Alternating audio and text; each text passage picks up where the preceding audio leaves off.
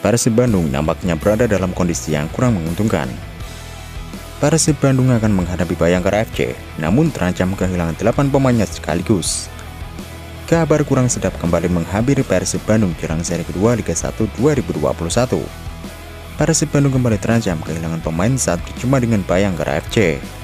Kali ini, giliran Jeffrey Castellayan yang harus kembali mengalami cedera. Pelatih Persib Bandung, Robert Albert mengatakan bahwa Jeffrey mengalami cedera paha. Saat ini kondisi Jeffrey masih dalam pantauan tim dokter Persib Bandung. Semua pemain dalam kondisi bagus kecuali Jeffrey yang masih dipantau setelah mengalami cedera kunci paha, kata Robert pada Selasa 12 Oktober 2021 kemarin. Dengan kondisi ini, Robert ragu pemain asal Belanda itu bisa menjadi starter saat berhadapan dengan Bayangkara FC. Melihat situasi sekarang, saya pikir dia tidak bisa bermain sebagai starter. Dari apa yang saya pantau hari ini, ungkap Robert. Selain Jeffrey, Robert juga ragu bisa memainkan back andalannya Victor Igbonevo. Seperti diketahui, Victor Igbonevo sebelumnya mendapatkan panggilan dari timnas Indonesia. Victor Bonivo sendiri dijadwalkan baru akan tiba di Indonesia pada Rabu 13 Oktober 2021. Belum dipastikan, seperti yang saya katakan, Victor akan pulang tengah malam ini dan besok akan tiba di Bandung, tutur Robert.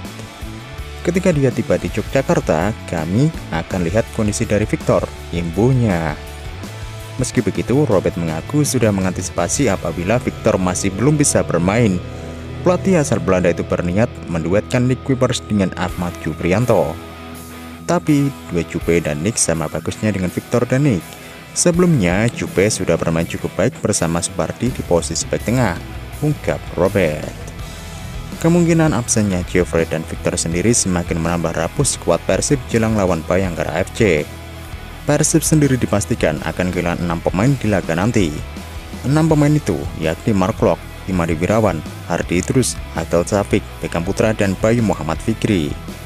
Bayu Bekam dan Akil akan absen karena panggilan dari timnas U23 Indonesia. Sedangkan Mark Lok dan Ardi terus absen lantaran akumulasi kartu kuning. Sementara itu, Imadi Wirawan dipastikan akan absen panjang setelah menjalani operasi pengangkatan lost bodies.